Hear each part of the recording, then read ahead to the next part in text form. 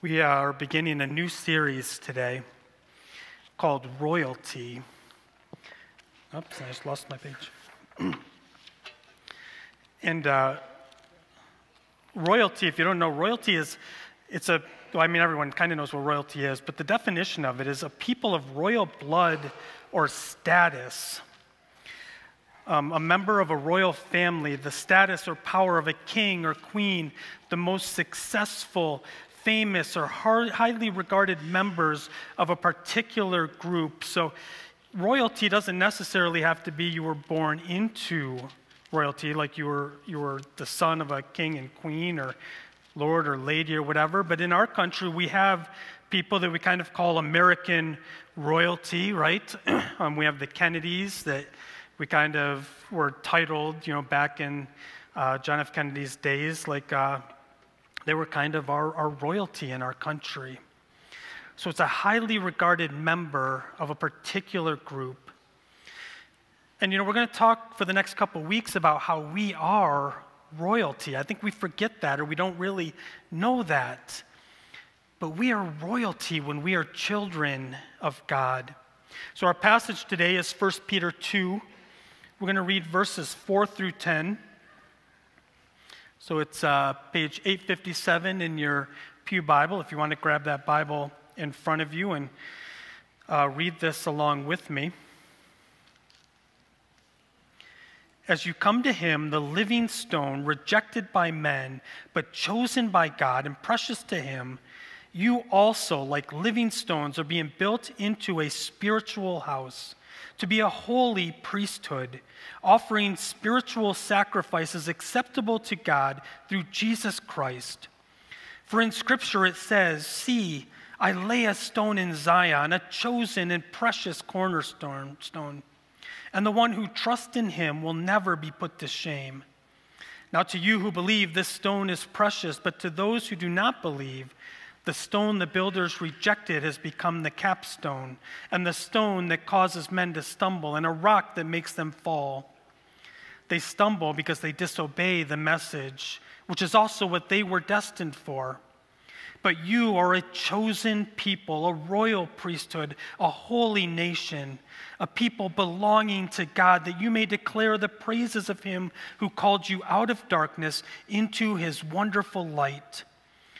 Once you were not a people, but now you are the people of God. Once you had not received mercy, but now you have received mercy. Would you join me in prayer? Heavenly Father, Lord, we thank you for who you are. We thank you for what you've done. And we thank you for who we are in you, Lord. Do a mighty work today. Speak to us wherever we're at and reveal to us who we are in you, Lord. That no longer would we be worried about the, the things of this world or what people think of us, but only what you think, Father. Help us to recognize that we are royalty, that we are worthy, not because of what we have done, but because of what you have done. Help us believe this today, Lord. In Jesus' name we pray. Amen. So, in our passage, it begins by saying that Jesus was rejected by humans. Jesus, he who was and is God, became nothing, rejected by man. But why was he rejected? Jesus was rejected by man because he didn't fit into their box. They expected a military leader who would bring them out from under Roman rule and reestablish the Davidic um, kingdom. They expected someone who would come and bring them back to their former glory, or at least somebody who looked and acted and thought like they did. But Jesus was neither of those things. He didn't act and think and look like they did, and he wasn't a military leader. Therefore, they rejected him. Therefore, they hated him. And you see, oftentimes we also reject Jesus because he doesn't fit into our box, even if we don't know that we're rejecting him. We inadvertently reject him because we accept a Jesus that isn't a Jesus of the Word of God. See, even professing Christians do this. Some Christians are appalled at a Jesus who would show grace and mercy to the less fortunate or to sinners. See, some people are so focused on following the rules, following the law, that that is that truth is all that matters. We have to believe truth, we have to live truth, and it's just truth with no grace. But that's legalism. And our Jesus was not legalistic. And then there's the other extreme of those Christians who people who call themselves Christians who are appalled at a Jesus who would ever speak against someone for their choices or their actions or their sins. Our Jesus was a loving God. He would never judge me for my actions, is what is said. But this is a Jesus that is all grace. And when we are all grace without truth, we are permissive. And that is not the Jesus of the Word of God either. You see, Jesus didn't fit either of those extremes. Jesus had a balance of grace and truth. So Jesus was rejected by the masses, but he was also rejected in a sense by the Father. And this, I'm going to read this from a commentary. It's from Exalting Jesus in Luke.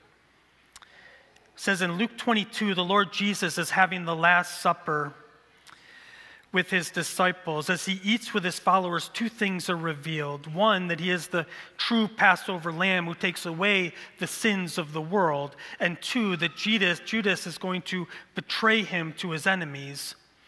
In verse 39, we read that uh, as they have finished that supper, the Last Supper, they've come, him and the disciples come out of the upper room where they've had their meal. And Jesus had this routine of going out to pray after that. So, as usual, the passage says, Jesus went up to the Mount of Olives and his disciples followed him. On that faithful night, the Lord had a prayer on his mind.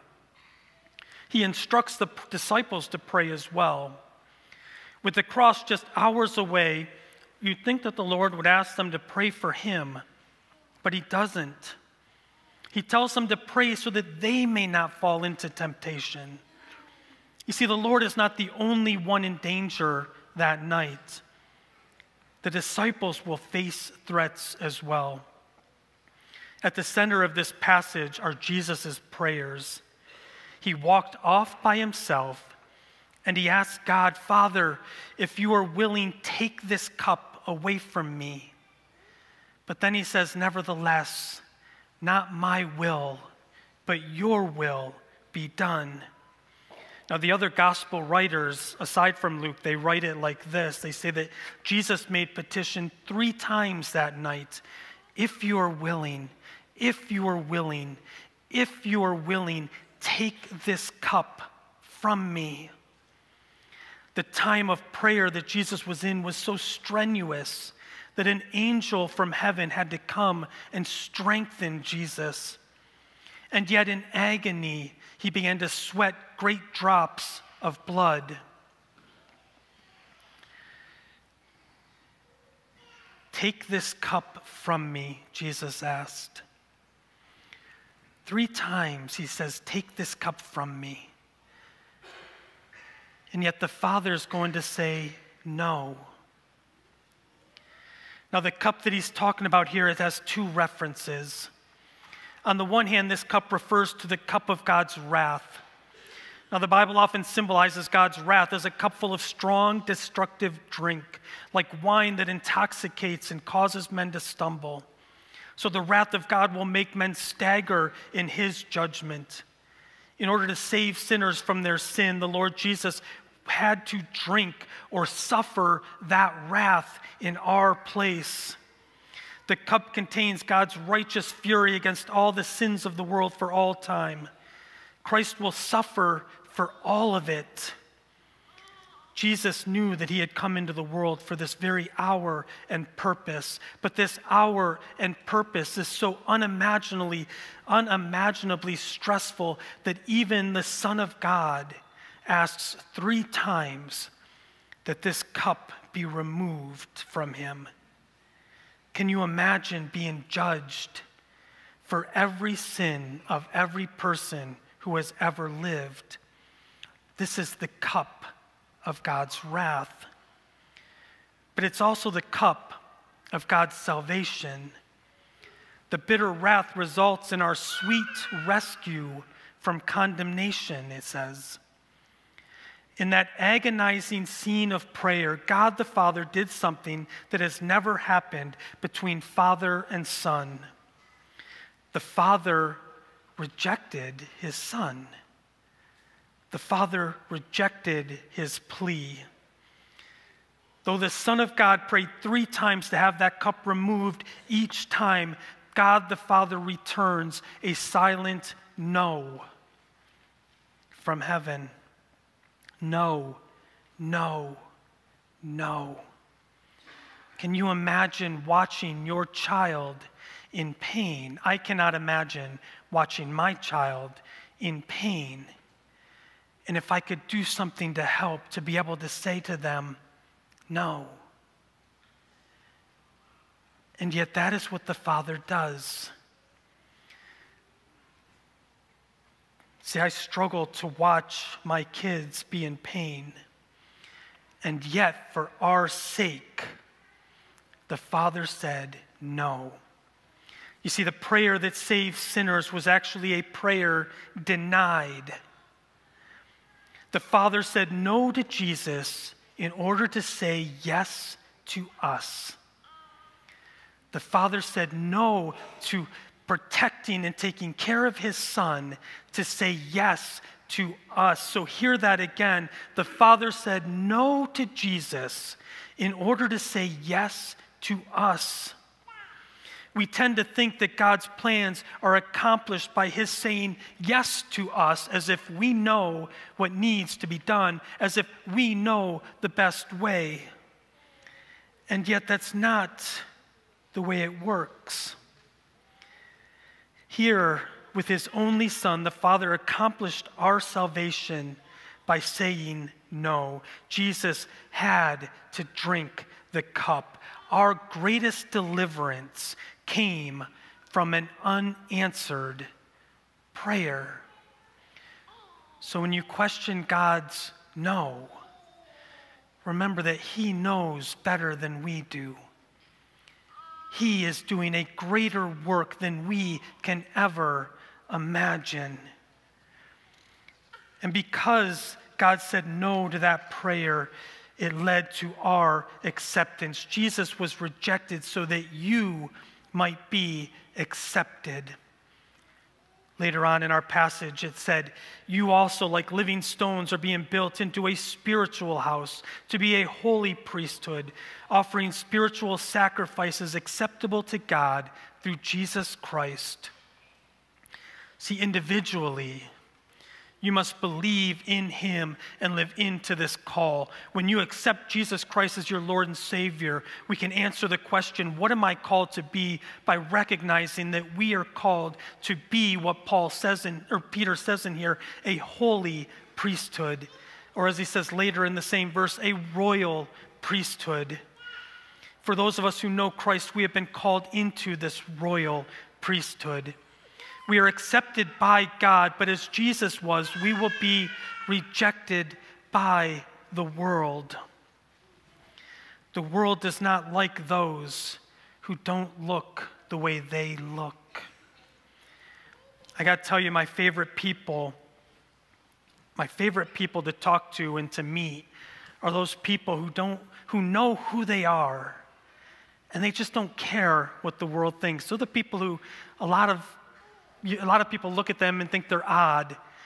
I love talking to these people because they, they don't care what the world thinks. It's this is who I am and this is how I'm going to live.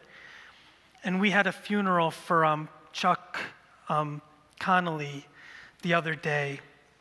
And Chuck's cousin Patrick shared um, something that was, I, I just thought it was profound. It was one of the best parts of the funeral for me. And, and during that sharing time, getting to know a little bit about Charles, Chuck, um, Patrick said that Chuck had written to the Post Journal in response to an article. And this article, he said, was written on Valentine's Day. I'm, I'm, I'm not going to be able to give you all the details because I don't remember all of it. It was a Valentine's Day article essentially on how to pick up girls.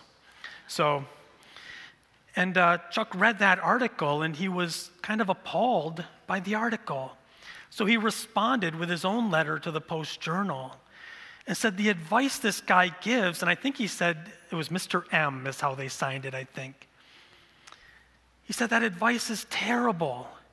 He said that advice isn't about really picking up a girl, it's about manipulating someone into liking you. And he went on in his response to say, you know, if you like wearing a flannel shirt around your waist, wear a flannel shirt around your waist. If you like to dance, and I can't remember the word, word Patrick used, if you like to dance not well, maybe, dance not well, but just dance. Do the things that you like to do. And the thing that struck me was at the end, Chuck wrote, When I date a girl, they will know who they are dating. There will be no doubt in my mind that they are dating me for me. Because there was no facade in Chuck. Everything that I heard Friday was that Chuck was who Chuck is, and there was no facade. See, as believers, we need to know who we are, and we need to live into that. You all know my weaknesses because I am not shy to share them when I'm up here. And even if I don't, you see them.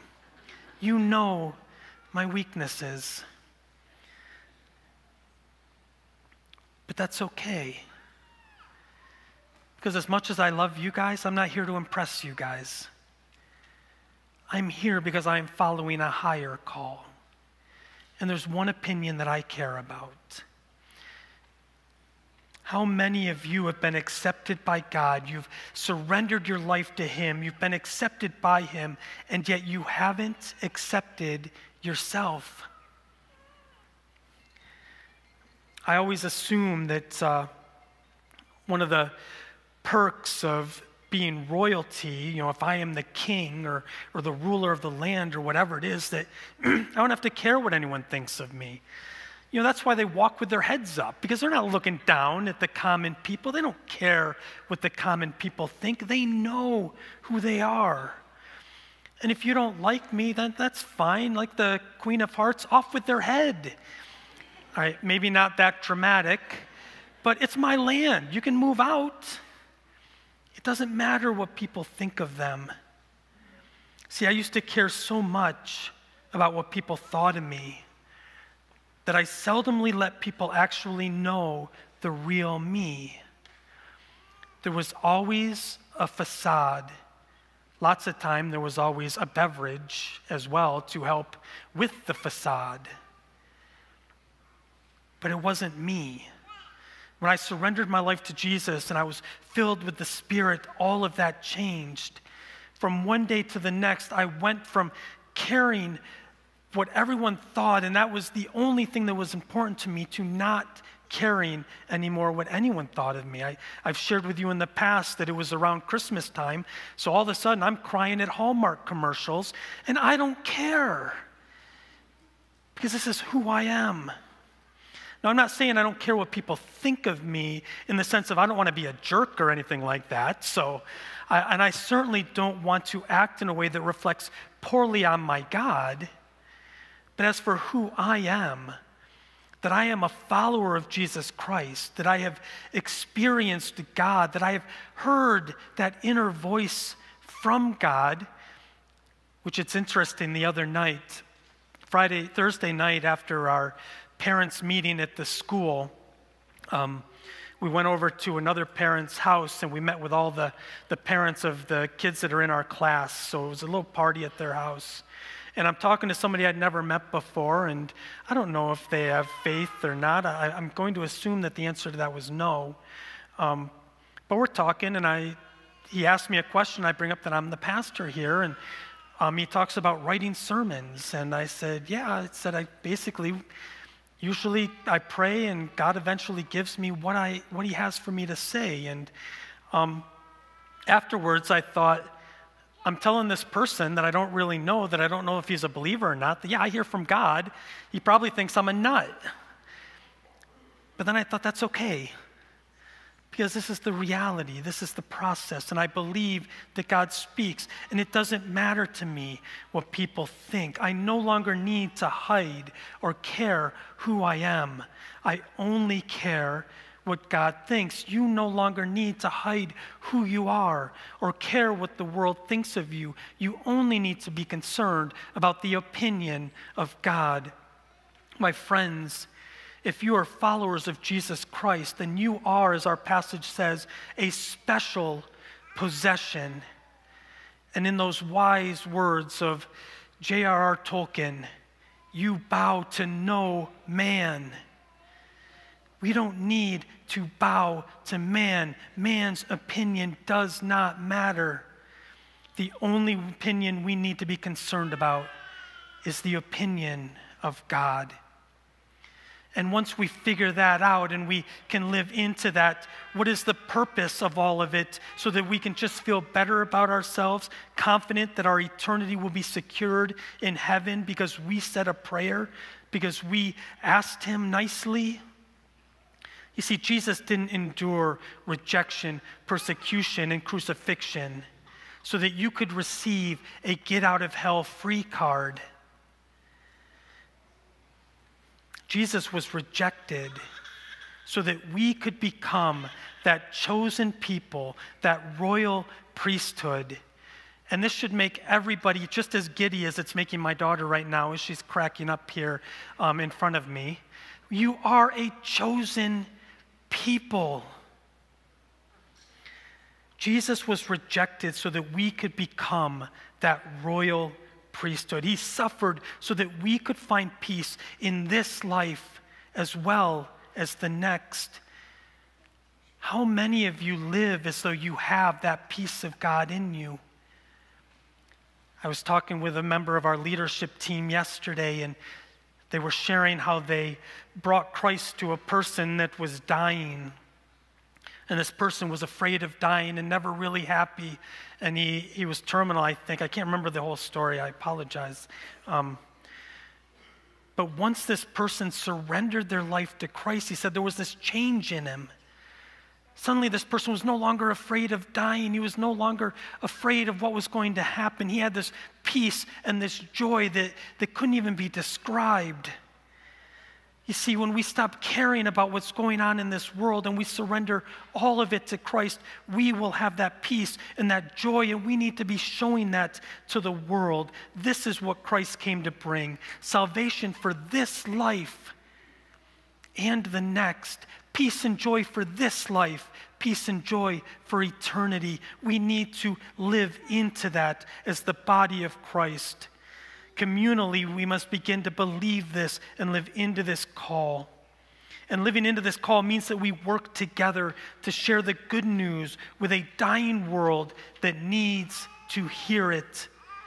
Jesus was rejected and suffered so that we could be acceptable to God as this royal priesthood, and that through us, as, as our passage says, as God's special possession, that we may declare the praises of Him who called us out of darkness into His wonderful light.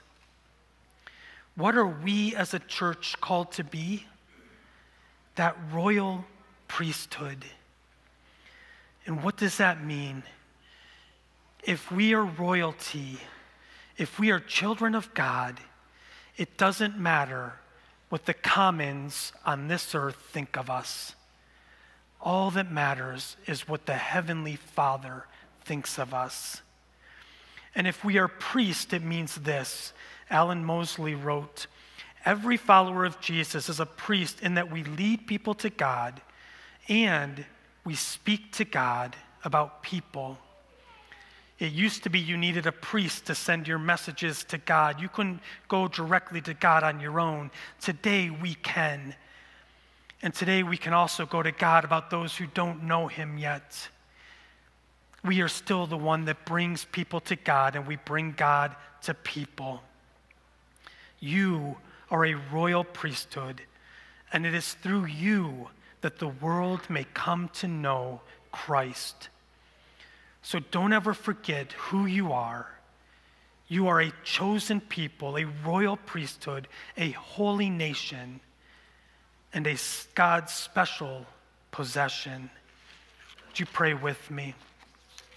Heavenly Father, Lord, we thank you for this day, and uh, I pray that you would help us to live into this reality that we are not of this world, Father.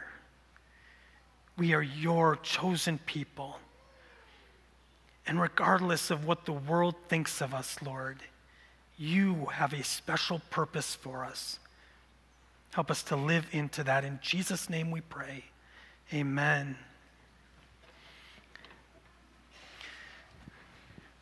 Now we will um, meet the Father, we'll meet Jesus in a very real way through the act of communion. And I do believe that every time we partake of communion, that the Spirit is here, that God shows up, that we meet Him in the elements. So let's pray together the way we always pray. We will pray that God will reveal to us any areas that we may need to surrender over to Him. And then I'll give you a moment just to spend alone with God, and then we'll pray for forgiveness together.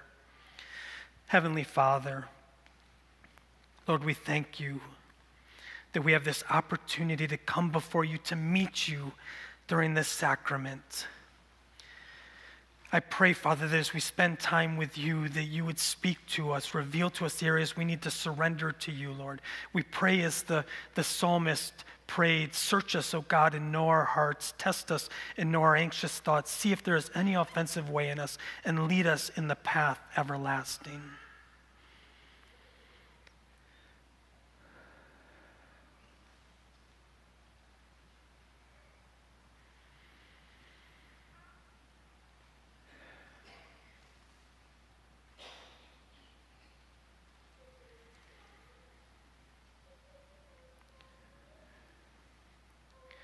Father God, we pray that you would forgive us for those areas that we haven't surrendered to you yet.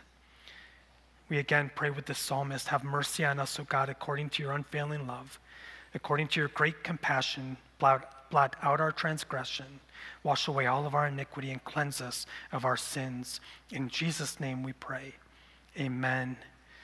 Friends, hear the good news. While we were yet sinners, Christ Jesus died for us.